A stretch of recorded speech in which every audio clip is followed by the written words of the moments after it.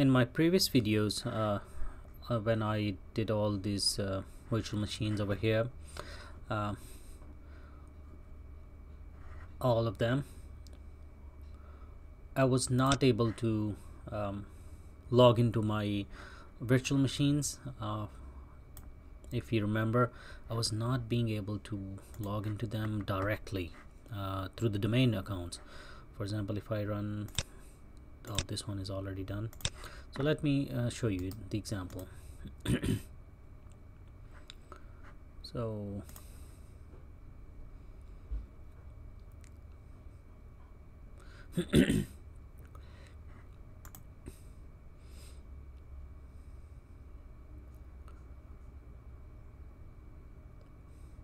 like uh, this is my domain account you see.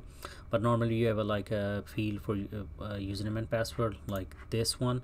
You enter your username you enter your password and you're joined. For example if I write in Trump and I give the password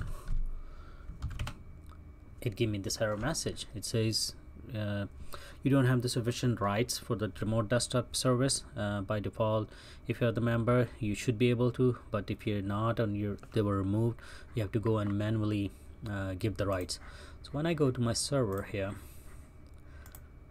and Active Directory and user computer when I click on Donald Trump and I click on properties and I see member of it is member of a remote desktop right here. Uh, you see right there. It, it, it should uh, it should be able to log into this uh, machine but it's not. And like on my floor there are uh, 200 computers uh, uh, in uh, on one floor. You can actually sit on any one of them and you don't have ever have to uh, face this error. There's nothing wrong. Everything is configured fine. And the workaround I found was that uh, you log in with the local user log out and then when you log in with the domain account it works. And I thought maybe it's because that um, it's not connected to the ethernet like when the computer boots up and before logging in it's not connected to the uh, ethernet network. Uh, once you log in then it gets the IP address and goes you know all that good stuff. Unless it was already on and got the IP address once and then you were just simply just restarting it and you don't uh, like the ne computer never shuts down properly. I thought maybe it was it so uh, the fix is there that uh, basically it's uh, not very productive if you have to log in with the local user. And what if you face it in the real world? And you say hey, maybe it's just uh, the virtual machine that's doing it and in the real world you will not face this issue. But actually you can solve it in the virtual machine as well. You see I haven't logged into my local user. Still I'm, I'm gonna get that error if I try now I got that error. So fix is that in uh, all of the virtual machines doesn't matter it's Hyper-V VMware or VirtualBox there's a um, feature called enhanced mode. Uh, but uh, specifically in uh, Hyper-V is this one. So if you can see this is saying if I click on it it's gonna go back to basic session. And enhanced mode is basically lets you allow you to access uh, the physical resources of the computer. Uh, for example uh, USB CD drive uh, of the actual host machine. Uh, uh, network and um, um, let's say audio everything of the that that's uh, the physical resources of the host computer you can access them.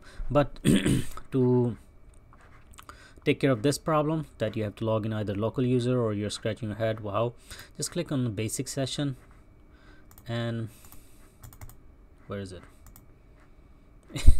You see now it's connected ethernet is connected and I don't know why it's uh, I think it's kind of hanged here.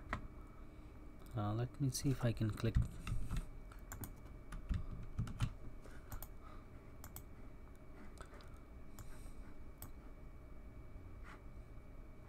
is doing something.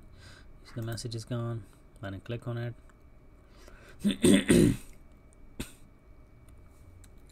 All right. So there it is. Uh, it gave me the Donald Trump. Let's see. Oh it's still working.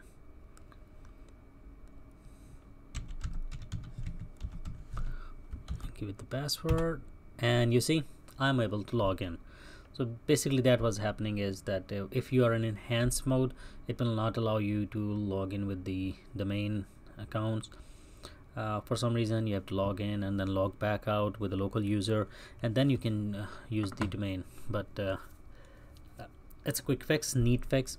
Uh, and that's how you can um, directly log into your virtual machine with the domain uh, joined account. All right if you it, if that this video helped you and you were in the same uh, like uh, you were scratching your head what's happening and uh, you were looking for a fix um, uh, please share rate comment this video and try to subscribe if you haven't already I just found this one uh, accidentally. I was just going through all these uh, icons and I saw that and I clicked on it and then I thought maybe that's it and it was. So I decided to make a video. If uh, anybody else is having these issues um, they can finally get a solution for it. Alright thank you and for a change this video is being made uh, like you see uh, in the morning normally I make my videos uh, at night. Uh, well let's finish this video and make the next one